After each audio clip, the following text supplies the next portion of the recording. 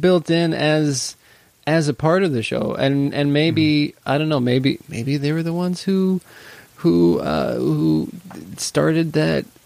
Who started it? I don't Yeah. think so. I think that was around before then. But that's a pretty that's a pretty like character driven way of, of doing that. It's Yeah. you know it, it they found a way to to make it a part of the show. Mm-hmm. But anyway, Oh.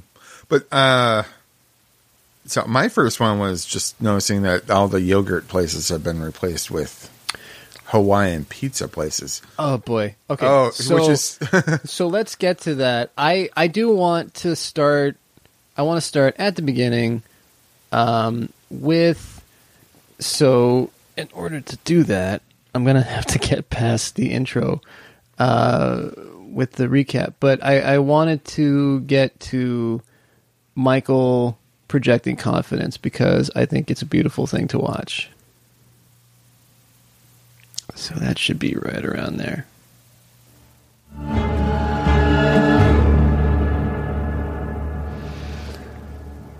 Okay, here we go. Confidence, Mikey. Project confidence. There he is. How's it going, boss man? Enough chit chat. Is everything in place for version 2? Yep, we're keeping everything from version 1 that made them miserable, adding a bunch of new stuff that they'll hate. For example, all the coffee is from those little pods. Diabolical. Plus, they will all have new soulmates, of course. You gotta trust me on this, boss. I've thought of everything. I won't let you down. I think you will. I think this entire project of yours is stupid and doomed to fail. I think you're going to be retired, eliminated from existence, and burned on the surface of a billion suns. And I have no doubt that you and your cockamamie experiment will go down in history as colossal failures. You know, I think if you. Toodaloo. Okay, take two. Yeah. So I I yeah, I again we're back to to gushing about the performances, but Mm-hmm. but Michael's like project confidence, Mikey. You got this. What's so torturous about Keurig cups other than like yeah, they ruin the environment? There's I that. find them so convenient. they are super convenient, but you, sir, are not somebody who drinks black coffee. So if you are somebody who just drinks regular black coffee all the time and doesn't put cream and sugar in, they are not anywhere near as good as brewed coffee. oh, but sir, But sir, Sir. you're about to correct me. I'm about to correct you. God damn it. So, well, uh, here's so here's what's torturing. So, um, now that you point out, gosh darn it, Jared. so they used to make like the donut shop coffee used to make Yeah. the sweet and creamy brand of what had the cream and sugar included. Which seems odd to me because you're just pouring water into that. Is it's got to be like the powdery non-dairy creamer stuff. I'll tell you what though, it came out pretty good. really Yeah, it actually came out pretty good. It was my favorite thing for a while. okay. And then they stopped selling it. I haven't been able to find it. Ah, like Target had it, and then now Target no longer has it anymore. No matter what location I go to, whether it be the tiny Target, the super Target, or just normal Target. I, you know what I. This is going to go off on a tangent for a little bit. So welcome back, four buck, four bucks. Strapping. Stra- yeah, exactly. Uh, now, I have conflicting. I, I have conflict. There's conflict within me, deep within me, about the tiny target. because unless I know ahead of time that they have what I want, that is nothing but a trip down futility road. Because and irritation because then I'm just like, motherfucker, I gotta go to the regular Target anyway. Why the fuck did I drive over here? And it takes just as long to get to the tiny Target than it does to get to the super Target. it's but you know, if I'm heading to Trader Joe's or if I needed to go to the Best Buy or whatever, then the tiny Target is conveniently conveniently located right there. Mm-hmm. But yeah, I mean they they don't have all the brands that I'm used to getting at the regular Target, and so yeah, unless I know very basically exactly what I want and that it's at the tiny Target, I just don't go there. I understand. I I prefer to go to the tiny Target because it is so convenient. It's like Walgreens but bigger Mm, and with mhm. Target brands. But the aisles also are so small. Like if you if you can't, I mean, if if heaven forbid there are two people with carts coming down the same one, you gotta you, you, you gotta make some negotiations. You need like blinkers on your ass so that you can back up. I know. what I find amazing about the tiny Target is, I, I I am like you. I have to know it's there, or else I won't Mm-hmm. go. I'll have to go to Super Target. Yeah, Um, First world problems, guys. um, but what I'm always amazed is what they do have at the tiny Target is like their grocery section's pretty good. I know it's like really well stocked. Like, Yeah. I mean, I and wish they have they- some organic products and fresh stuff. so- I wish they'd have the the giant tubs of almond milk. Tiny Target is not a sponsor of this podcast. No, why, why would they be after you just?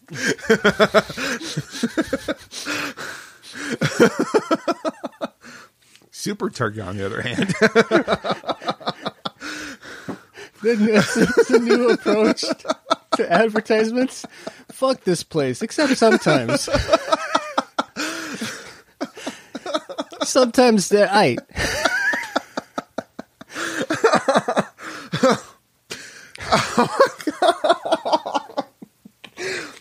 it's just amazing what they do have. I mean, yes, I do get upset when they don't have the giant tubs of almond milk like I'm used to at the Super Target. Mm-hmm. You know that that's a negative impact on the environment. I'm aware. I was once again reminded watching this episode about Yes. the negative effects of the almond milk, mm-hmm. and but it's so good in cereal, man. well, in general, you know what? If you have a lactose problem, almond milk's not bad. Yes. So, and again, we're just talking about K cups. Let's talk about the Almond milk, also not a sponsor of this podcast. almond milk K cups. we're, just, we're We're just crossing them off. They're lining up, and we're like, "No, sir, fuck you." I mean, we haven't talked about MeUndies and and Squarespace, so no, I feel like because because they might sponsor because they uh, sponsor everything. stamps.com. I'm a customer, um, but I, I've never used it. but I'm a customer. And it's funny because I was at the post office yesterday, Jared, and let me tell you something. you know what? They're not a sponsor yet. What a pain in the ass. so I But feel the like post office, also not a sponsor, is trying. At least they're trying. Mm-hmm. They they they have the the um, the self service machine outside for when the post office is closed, which you can use sometimes when it's not out of order and when the parcel collection box is not full and locked. So but it's convenient some of the time. but you know what's more convenient? Stamps.com because you never. Not a have to leave the sponsor yet. We do not endorse stamps.com until they give us money. That's right. But anyway, uh, so where were we again? I have no idea. We, we, oh, we, were gotta get back to Tiny Target, and then Oh, we'll do we? yeah. Okay, so- well, we don't. um, but like, but uh, um, I as someone who has now two kids, I find Tiny Target to be a little more convenient, a little more thing, and then I can. I, Yeah. I Especially just, when I'm going to Trader sure- Joe's. I'm just not sure that those those aisles are ADA. Uh, Oh, no. You know, if they are, they're just barely. Somebody stood there with a measuring tape and said, "This is legal." Oh, if- so we're keeping it. Oh, if that place ever has a fire, it's just gonna like it's. It's going to be like a basement concert. Yep, it's just gonna be awful, and I, like, heaven forbid, any, I feel sorry for the people when the fire happens. Well, and they'll get caught in the clothing aisle because I guarantee that some of those materials are highly flammable. oh my gosh, yes. So, But um, so and the, we are talking about K cups, which I they did have cream and which sugar takes ones. us back to the good place. Yes. See or how we got? Carly put it, or gave us the segment, the good segue. Yeah. the good- see what I did there? I learned from Carly. I think we need a sound clip of that. the good segue. See what I did there? Oh, If somebody would like to mm. make that sound clip, we'll use it and Yes. give you a shout out. But I mm-hmm. like that. The good segue. See what I did there?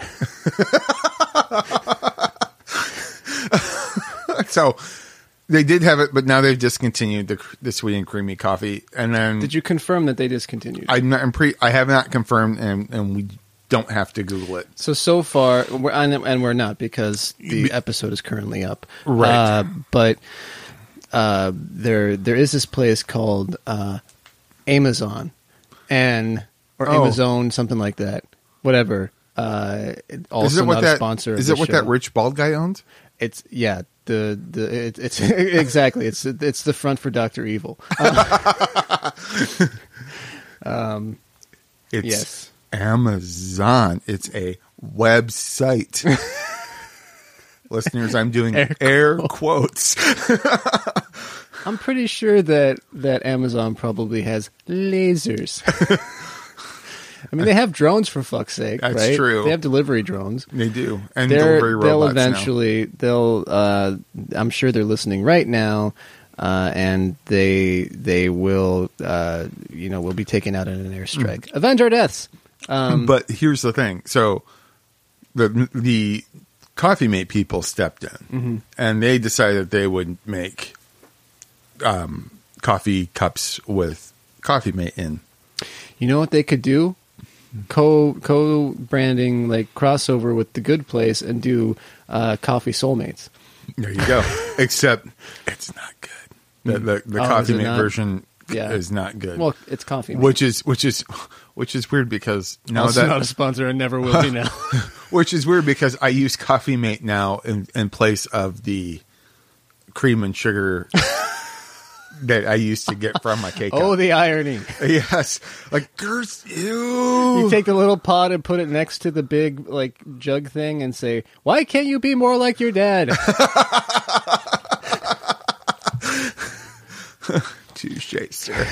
So, anyways, we were talking about K cups on the good place. right, the good segue. See what I did there? so, uh, anyway, yes, I, I, I, I like this. I, I like the whole, uh, the whole idea of the re- the the reboot here, and we're we're about to segue into the pep talk that uh, that that Michael gives the the crowd, um, and and and talking about uh, about everybody's jobs, um, and and how you know the the the, the whole the this is crucial thing where you know Eleanor you've got to get Eleanor drunk in order to um, to to fuel or to give fuel for the chaos machine right? Or the chaos generator whatever they call it. Um, I there were a couple of notes that I took down um, and I think it's I have a time code for this so we can just go ahead and head over to it Da, da, da. And I do have some notes about Denise too, by the way. character Oh, I- too, like can he bite them? No. Okay, reminder. The most do like important thing tonight, and this is crucial, you need to get Eleanor drunk at the welcome party. So she will say and do a bunch of bad stuff. Then we take that stuff and use it to build our chaos sequence in the morning. For example, you remember last time she stole all the cocktail shrimp and we made giant nightmare shrimp fly through the sky? See, it's those details that make her realize she's in danger of being found out. Okay. I know that this kind of large scale deception is not what you were trained to do. There are going to be days when you're just sick of being around these disgusting humans with their weird, gross little mouths and their stupid elbows. You're going to be tempted to say, screw it. Can't we just go back to HQ and do this the old fashioned way? Pull out some fingernails, toss someone in an acid pit, fire up the old penis flattener, and sure, sure, that sounds nice, but it also sounds easy. We're all here because we believe that there's a better way to make humans miserable. And I, I believe in you. So, torture on three. Ready? One, two, three. And biting. Nope. No. Uh, yeah, I I do I do like the biting. and biting. No, No. no. Um, and I I, I did make fire up the old penis flattener. Yeah. He says it with such conviction. He does, yeah. It's just like tossing it off, like, yeah. So Remember I the can- simple days with the penis flattening and the, Can you see him going like on top? Like, so Michael, how do you want me to say penis flattener? Why don't you say it with conviction? oh, what's my motivation? You're a demon, dude. yeah, yeah. And again, you know, he he Ted Danson continues to be the best part. I think mm-hmm. everybody is great, but I, the more and more I watch it, that man is just comic genius. It's true, and it's funny. He it's